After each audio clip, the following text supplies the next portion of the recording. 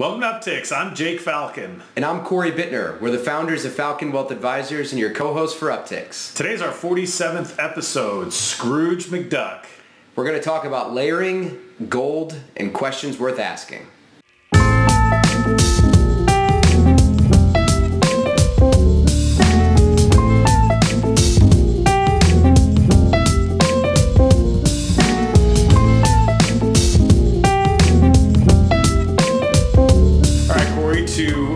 Financial planning topic for today's show. I wanted to talk about layering different financial goals. So why don't you kind of go into what that means and we'll kind of have a discussion around what that looks like for our clients.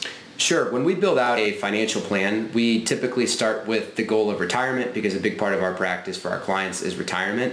Uh, and for most people, they would identify that as a need. Um, the idea is in a in our financial planning software, we can talk about needs versus wants versus wishes. And when we talk about layering goals, it might look like retirement is a need, paying for you know college for my grandchild as a want, and a cruise around the world as a wish. And then we can basically look at those different goals and we can prioritize those and talk about what's funding what.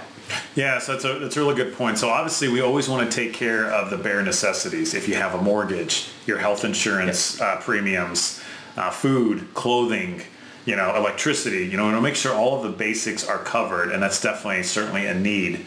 And then you got to live a little. I mean, what's the point of retiring if you can't go out to dinner on the plaza once a month or twice a month? Agreed. Or have that second property, you know, whether it's a lake home, uh, a lake house, or a boat, or or whatever that may be. And so we want to make sure that all of those items are covered first and foremost. Now, a lot of our clients, they'll roll up all of their needs, wants, and wishes into one Big primary goal. Yeah. yeah. So they may have $10,000 a month is what their goal is, and that covers all of those things. But for some of our other clients, we will break it out and we will say, okay, we know 6000 a month is going to cover all of our bare necessities. We know 2000 a month is going to cover uh, our grandkids, uh, you know, education, and we know another two thousand a month is going to cover, um, you know, our second home or our boat or wherever that may be. And yep. so, ultimately, in both scenarios, the client would be spending ten thousand dollars a month.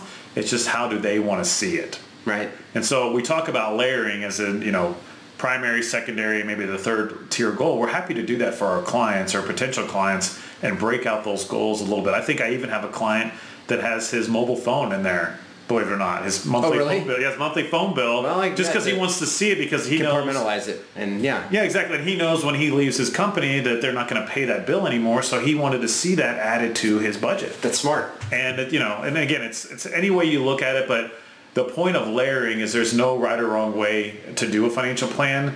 Uh, for me personally, I bunch everything together as far as my budget. I know ballpark what Rachel and I need to live comfortably every month. Um, but that does not to say I think you layer yours out more, don't you? I do very much so. In fact, I, I, I track pretty much every expense. My sort of um, I'd say it's a line in the sand, not in the concrete. Is that if it's if it's something like is literally like two dollars or less, I'm not going to worry about logging what that money's going toward. Two dollars? Yeah, but I literally track almost everything. You, you track five dollar expenses? Yeah. Wow, good for the you. The reason I do that though is because then I look at it and it and and I kind of get an idea month over month, quarter over quarter, year over year what, what money's going toward. And frankly, I feel like it helps me evaluate. Okay, what do I actually enjoy spending money on? Would I what where would I rather spend more money, and where could I spend less money? That's good, absolutely, and it, it kind of helps you see what you value as far as yes. you know. And I don't want to say you value material possessions, but they certainly do have value and you have a career and you work hard for your money, you don't want to waste it on things that you don't particularly enjoy. Exactly. Let me get, let me give you a quick example. I was just talking with a client two days ago, yesterday actually, uh, and we were talking about you know things that we enjoy spending money on. And I said, you know what? I, as you know, I I bring my lunch to work almost every single day. But by doing that, another fun fact: Corey also pretty much eats the same thing every day. Yeah, very much a creature habit. Some people think that's a little crazy, but um, either way, my point is like if I, I know that if I do that, then that gives me the ability, you know, at least once a week, uh, ideally, that you know my fiance Cassie and I can go out for a nice dinner because I'm saving money because I'm not ordering Postmates or going out to lunch or whatever it is every day. Yeah, good for you. Yeah, because that Postmates can get rather expensive pretty quickly. Yep. And the lady I was meeting with is like, I bring my breakfast and lunch to work every day. She's like, because we love going to happy hour to have drinks and dinner every Friday after work. And I don't feel guilty about it because Right, she saved money all week. Yep. Yeah. So again, so there's different ways to look at your budget, look at money. again, I kind of roll everything into one number. A lot of my clients do that too. Maybe that's why, but uh, that doesn't that doesn't mean that we can't break it out like Corey does uh, and do some layering. And so you know have prioritize your goals and do a little bit more thorough analysis. Yep. And most of our clients, again, they're in, they're in great financial shape to begin with. They really just need help making sure that they can live off their investments and not run out of money. So I'm not talking about someone that you know needs to figure out if they can pay their electric bill or not. It's Right. more about, hey, Jake, I I know I have plenty of money, but I just want to make sure that I am utilizing it in the proper way, and that's what layering can help you do if, if that's something that concerns you. No, that's yeah, it's a really good idea. And I know that last time we kind of talked about the importance of having a financial plan um, and why you should plan. Now we're going a little bit, or that might have been two episodes ago, but now we're talking a little bit more about you know how more how much more detail you can get when you're doing that planning. Yeah, and if that helps you, you know, again, be comfortable. Like Yes. I said, you said it makes you feel comfortable about when you do spend money. Yep. Then that's certainly that's what that's what we're here to do. We're here as advisors to help our clients uh, feel comfortable in their spending habits. Yep. All right, good. So for our second topic today on the investment standpoint, I wanted to talk about gold and where it plays uh, as far as a, a holding in a portfolio. So do you have, do you have thoughts on gold? Do you want to throw out some fun facts? I know we, we know both know a lot about gold. Yeah, well, as far as how, where it belongs in a diversified portfolio is somewhere, obviously. Um, part of why we're talking about it. You know, we believe in that now. When we're not going and investing in, we're not actually buying the precious metal and you know storing it in a safe for our clients. We're investing in a company that has real earnings potential. Um, but the idea is gold is a, uh, you know, i typically it is a hedge. One against inflation. Two, it's considered to be a safe haven investment. So a lot of times when the stock market, when things get a little rocky, um, or things get appear like they're going to be ugly, we see gold rally, and we see gold actually do well because people sort of flock to things like bonds and gold during those time frames. So but it belongs. but isn't gold one of the worst performing asset classes of all time? I think when you adjust the returns for inflation is when it's one of the worst performing asset classes of all time. But you mentioned that it was a, a hedge against inflation, so maybe you can comment on that. Yeah, it's the idea is if you're looking, and it's all relative too, because it's relative to other market or it's relative to other asset classes, right? So if you're looking at gold versus large cap stocks, so think your your Google, your Facebook, etc. If you're looking at those and then adjusting for inflation and looking at long-term returns, um, in times where there's been inflationary environments, gold has served as a hedge. However, over a longer period of time, if it's not an inflationary environment, the market goes up more often than it goes down. Gold actually doesn't do as well during those time frames. Gotcha. So again, that's, that's pretty, that well? pretty good. I mean, Okay. why don't you elaborate on what hedge means? Some people might not even understand that word. Yeah, it's kind of uh, the the simplest way to think about it is you know protecting yourself from something. Uh, in other words, if you had a million dollars in one company stock, you might buy some type of option, a stock option that trades on the stock to protect yourself and kind of put a floor under the price. That would be hedging your position, so Gotcha. you, so you don't lose it. Gotcha. So we, we think gold definitely serves a place in a portfolio. We don't overweight it. Uh, we don't try to time the market. But what we do do is when gold goes down, we typically buy a little bit more of it. And then when gold goes up, we sell it. You know, so the whole idea is that we want to sell when things are high and we want to buy back in when other things are low. So we trade it. We trade our gold position. Um, you know, it doesn't really, and again, we buy stocks. So the idea is that the, the company that is basically trading in line with the price of gold has real earnings potential. So we don't just buy the hard asset itself. Uh, but the idea is that we use it again as a diversifier in our portfolio. We don't want to overweight it though. We don't want to have a lot of money in gold because over the long term, it typically doesn't do well. But it's okay to have a sliver of that uh, in your portfolio, in a well diversified portfolio.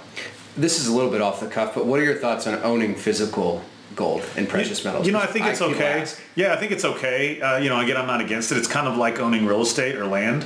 Uh, so it's just another hard asset. We don't particularly deal in that at Falcon Wealth Advisors, but I know there's some places around town where you can buy gold and store it there. Um, you know, but again, I think that's a little bit maybe overdone uh, because in the end, if nobody's willing to buy your gold bar, then it's really not worth anything. Right. And so you have to be careful about that. But I understand, uh, particularly maybe some of our older clients that uh, that's kind of the generation that they grew up in. If they want to have, you know, and again, I'm talking about a small piece, not even 1% of their assets in, in physical Okay. gold. I'm talking about a small sliver uh, because that helps them feel more comfortable. You know, I don't think it's a horrible thing. I personally don't, um, for me and my family don't think it makes sense. But that uh, who am I to judge or to say that Doesn't make sense should- for you. Yeah, exactly. They shouldn't have gold bars. But I don't think you should be putting half of your IRA Yeah. in gold bars, or I don't think uh-huh. you should be, you know, cashing in your savings account and go digging a hole in your backyard and putting gold coins in there. I mean, I, I don't believe in any of that. I'm just saying if you, hey, you wanted to, to work with a reputable dealer and, and buy some gold just in case, you know, but again, if it ever got that bad where we were really only trading on gold, there'd be a lot worse problems in the world than your gold bars. You know, and we joke, you know, you would need guns and farmland at that point. Gold probably wouldn't get you anything. and so, so again, I'm not opposed to it. You know, if a client is interested, we'll, we'll help do the research and kind of point them in a direction of someone that they can ask the questions to. But again, we don't necessarily endorse it, but I'm not pounding the table saying that you shouldn't either.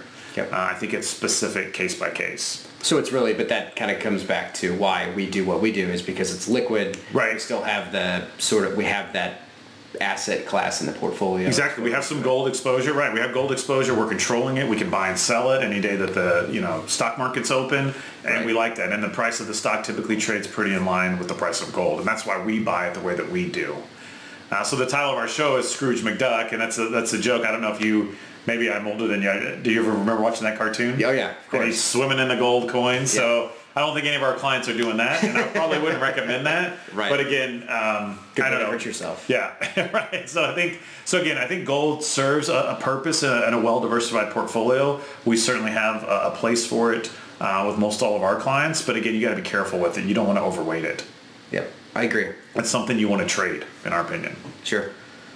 Okay, so for our third segment today, we talk about questions worth asking. Have you heard a, a good question from a client or a potential client here lately? I did. Yesterday, I was meeting with a client who asked me, he said, I still have around probably 20, 20 to 25 years left in my career. What are your thoughts on taking some of my pre-tax traditional IRA money and converting it into a Roth IRA? Hmm. You know, it's a tough one because basically what, what that entails is that you have to pay taxes, and typically the best way to do it is to pay taxes out of pocket now on anything that you convert with the idea that money you're putting in that Roth IRA will grow tax-free. Now, it hasn't been very popular amongst our clients because you're basically front-loading your tax bill to Uncle Sam, and typically we like to pay Uncle Sam the least amount as possible Right. and as late as possible. Um, so, but all that being said, with a longer career horizon ahead of them, typically the break even, and again, this is a very broad statement, but typically the break even on paying those taxes is about 10 years where you start Okay. to come ahead. Uh, so if they wanted, if they had the money in a savings account or a checking account, uh, and they were willing to let go of that to pay taxes, and they understood that it was going to be about 10 years before they made up anything that they invested, then I would probably look at it more seriously. But if they weren't comfortable with departing with their savings money to pay the taxes or waiting the 10 years, then it's something that we probably would advise against. What about mechanically if you do the conversion, if you move money from the IRA to the Roth IRA, can you withhold the taxes from the IRA when you do that? You can, but it depends on how old they are because typically I believe that'll count as a distribution. So they may be taxed on that money and then penalized. Okay. So you have to be careful uh, with that. So this is a little bit more of a complex strategy, but I guess the point of the question is, you know, if you have an IRA and you, you've heard about these Roth IRAs which grow tax-free, you can convert it.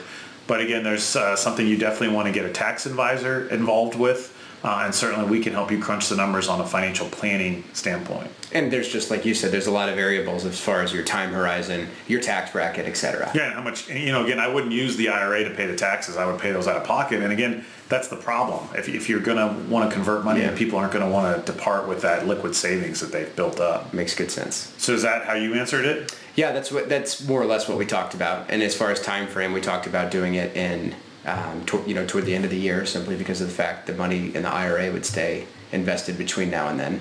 Though I guess if you were converting it and paying the taxes out of pocket, it wouldn't really matter either way. Yeah, I don't think I don't think timing makes a big a big deal. There there is some strategy in how you could convert it, and then if the market goes down, you could Yeah. recharacterize it, and that gets even that's a whole other show Right, on its right, right, own. right.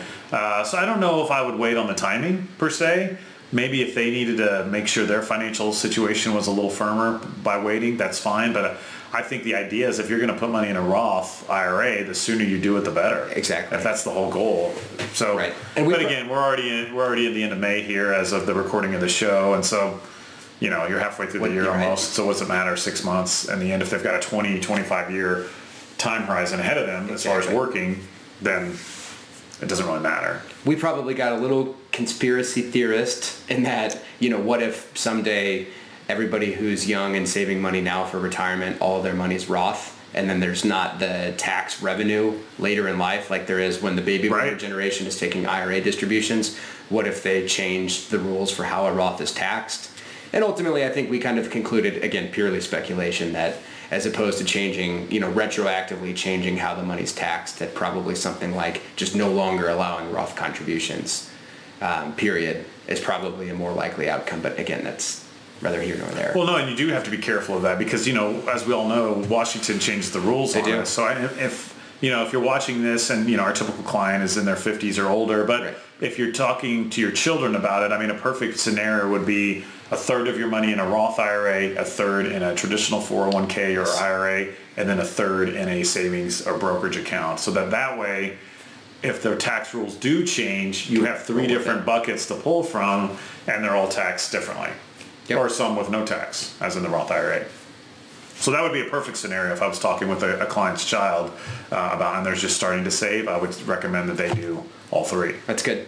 So perfect. And now for our fun global topic um, today. I, you know, I haven't been watching much baseball this year because the Royals. I don't think they're doing too great. But do you have a baseball update for us? How, how's it looking out there? I know you follow baseball closely. Yeah, so the uh, as far as well, one as far as the Royals go, I was just talking to somebody about this. While they the record is not indicative of well, I guess maybe the record is indicative of the level of play, but they have been a pretty fun team to watch. I think they've been pretty entertaining. Have you watched any games? Uh, yeah, I've watched a few. I saw, but like you know, for instance, it was either Saturday or Sunday. I saw some of the game where they were up seven to one, and then in the, against the Yankees, and then in the ninth inning, it's seven seven because the bullpen just imploded. Now, oh, that's I, frustrating. now, granted, the Royals ended up winning that one in extra innings, but again, they, they are a fairly exciting team to watch. I think they're they're a few years out, but I think they are going to be good sooner maybe than some people think because they have some really good young talent. Though, as far as the American League Central that the Royals play in, who's been basically the surprise of all of baseball this year has been the Twins. really? They're good. They're one, they might have, you know, as of this recording, they might have the best record in all of baseball, which peop no one really saw coming. Is it because they're playing the Royals and winning more games? They're beating everybody. Okay.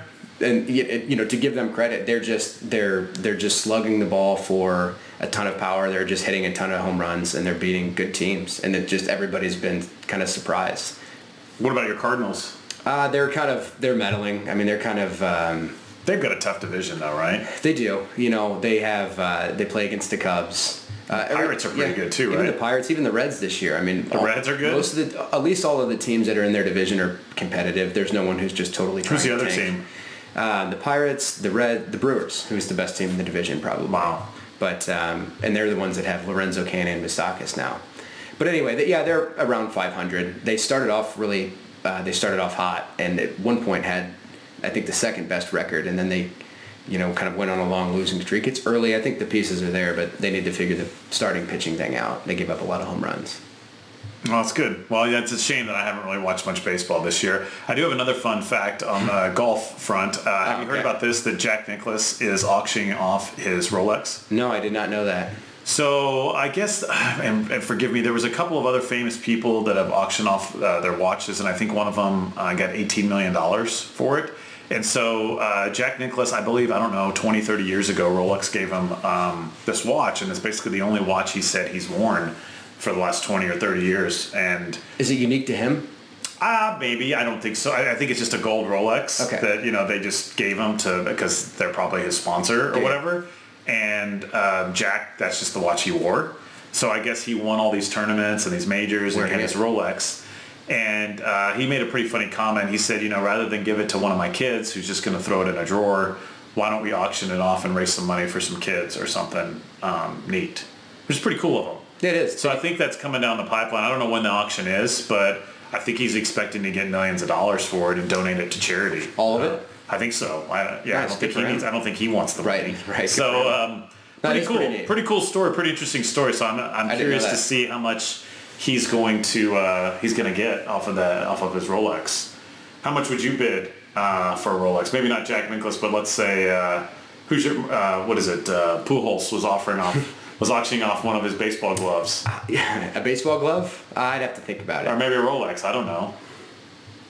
I, you know, I have a I have a ball that he autographed, so it's kind of like that's I kind of already have a, a piece of memorabilia from him. But to answer your question, I don't really know. I've never. Yeah, it's I- I pretty don't know. I crazy. thought about it. It's pretty crazy what people will pay for that stuff. I I, mean, I get would- it for a charity, and that's pretty cool. Yeah. But I mean, that's a lot, millions of dollars. Yeah, no, I, I wouldn't take, uh, and not that I would, you know, not that I have millions of dollars that I would go and, uh, well, not that I have it to, to, Right, to right. donate, period, but I wouldn't, uh, I wouldn't be liquidating all my retirement accounts and everything else to buy a piece. No, of no, no, and I'm sure, and I'm sure the people that are doing this have, have the hundreds money. of millions Yeah, of exactly. dollars. they have the money. You know, what would you bid? I don't know. I would. I don't think I would. Yeah, I- I, I don't know if I would ever buy would either. anybody's Rolex. Like I'm not. That big- I would just donate to the charity if it was something that important to me. Go buy your own Rolex. Right. Or Yeah. you know exactly. If I wanted, Yeah. yeah. yeah, right. If I wanted that, or yeah, exactly. Um, but anyways, it's pretty awesome. Pretty uh, good for him uh, for doing that. It's a pretty cool idea uh, that he came up with, and It is. Uh, we'll be interested to see what it goes for. So that's all the time that we have for today. But thanks as always for tuning in. Uh, you know, again, you're watching us on YouTube. Please subscribe to our channel and uh, like and share our other content. If you're listening to us on iTunes or Spotify, thank you as always. You can also find us on all the other various social media platforms. We're on Facebook, Instagram, Twitter, and LinkedIn. And you can find me personally on Twitter if you're on there at Jake Falcon CRPC. And I'm on Twitter also, and my handle is at Corey Bittner KC. Thanks again, and we hope you all have a great week.